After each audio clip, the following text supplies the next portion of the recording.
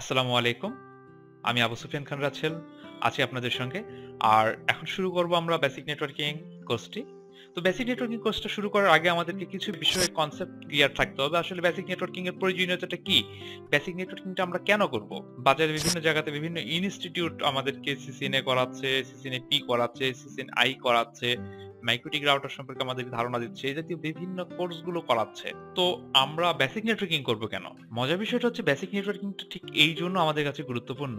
আমরা বাজারে যে ইনস্টিটিউটগুলো থেকে যে কোর্সগুলো করে আসছি, যেমন সিসিএন এর কথাটাই ধরুন। সিসিএন অনেক বিশাল একটা আলোচনা। আপনারা সিসিএন এর মডিউলটা ডাউনলোড করে দেখবেন। অনেক বিশাল একটা আলোচনা সেখানে আছে।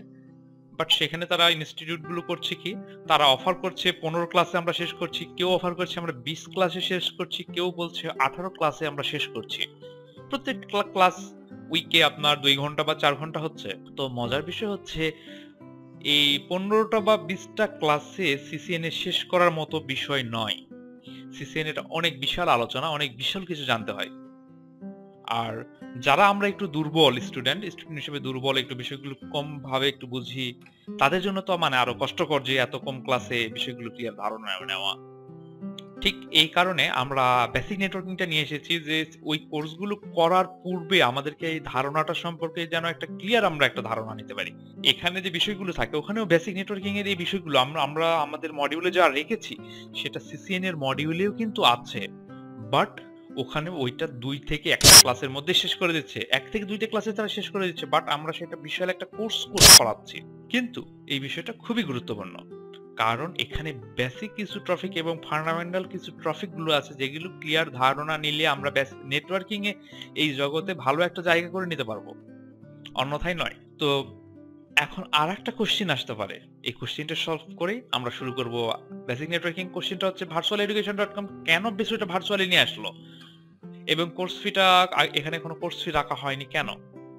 সবার আগে কোর্স ফির কথা বলব কোর্স ফি রাখা হয়নি বিষয়টা হচ্ছে দুইটা কারণে। এক, প্রধান সমস্যা আমাদের দেশের শিক্ষা ব্যবস্থায় একটা বড় একটা সমস্যা হচ্ছে এখানে আপনাকে যা কিছু করতে হবে, আপনাকে নিজেকে করতে হবে। যদি নিজে না কিছু করতে পারেন, তাহলে আপনাকে কেউই করে দেবে না।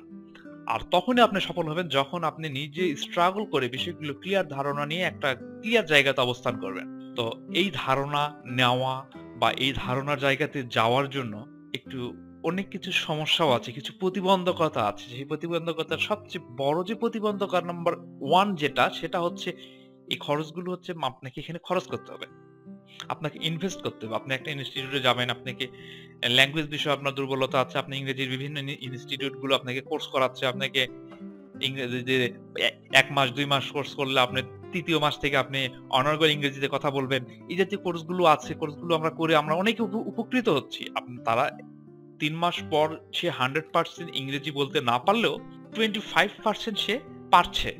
এবং পূর্ব থেকে তার পূর্বের যে অবস্থানটা ছিল সেখান থেকে সে বর্তমান অবস্থানে অনেক বেশি ডেভেলপ করেছে। কিন্তু এইসব বিষয়ে আপনাকে অনেক বেশি খরচ করতে হয়। বিভিন্ন জায়গাতে বিভিন্ন সেমিনারে যেতে হয়, বিভিন্ন জায়গাতে বিভিন্ন ইনস্টিটিউটে গিয়ে আপনাকে যোগাযোগ রাখতে হয়। বিভিন্ন ইনস্টিটিউটে বিভিন্ন রকম কোর্স আপনাকে করতে হচ্ছে। তো এটা স্টুডেন্টদের পক্ষে অনেক বেশি কষ্টসাধ্য। আর আরেকটা বিষয় আমরা কোর্স রাখিনি সেটা হচ্ছে এন্ট্রি লেভেলে যারা জব করছে, নেট এই ইঞ্জিনিয়ারিং করে এসেছেন বা ডিপ্লোমা ইঞ্জিনিয়ারিং করে এসেছেন, এন্ট্রি লেভেলে নেটওয়ার্কিং নিয়ে এগুতে যাচ্ছেন বাট খুব বেশি আপনি আপনার প্রতিষ্ঠান থেকে সাপোর্ট পাচ্ছেন না। যদিও বা এখন অনেক ইনস্টিটিউট বা অনেক অর্গানাইজেশনগুলো করছে কি তারা সিসিএনএ সার্টিফাইড দেরকে এক্সাম ফিটা প্রোভাইড করছে। কিন্তু আপনাকে বেসিক কিছু শেখার জন্য তারা প্রোভাইড করবে না। এক্সাম ফি আপনাকে তখন প্রোভাইড করছে যখন আপনি সার্টিফিকেটটা হাতে নিয়ে ঘোরাবেন। তার আগে নয়।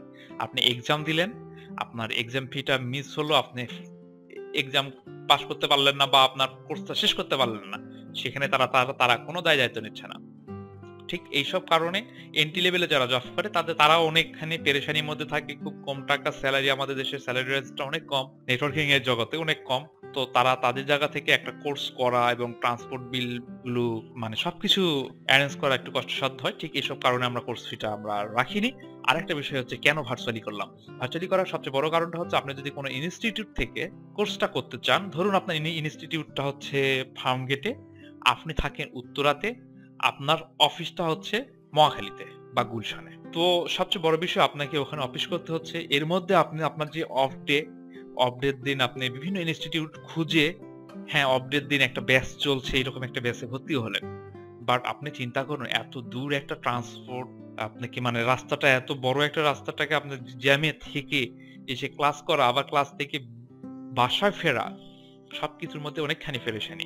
অনেকখানি সময় আমরা রাস্তায় নষ্ট করছি বা বাসে নষ্ট করছি। ঠিক এই সময়টা আমরা নষ্ট না করে আমরা চাচ্ছি এই সময়টা আপনি একটু বাসাতে আরও এক ঘণ্টা, দুই ঘণ্টা বাসায় যদি প্র্যাকটিস করেন, তো বিষয়গুলো অনেক বেশি ক্লিয়ার হবে।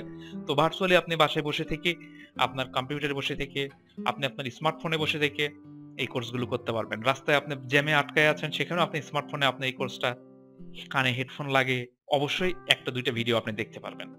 তো এইসব বিষয় ক্লিয়ার করার জন্যই আমরা কোর্সটা টোটালটাই ভার্চুয়ালি করছি। তো আশা করি আমরা বুঝতে পেরেছি যে আমরা বেসিক নেটওয়ার্কিংটা কেন শুরু করছি এবং কীভাবে শুরু করছি। তাহলে চলুন আমরা শুরু করি, সঙ্গে থাকছেন তো।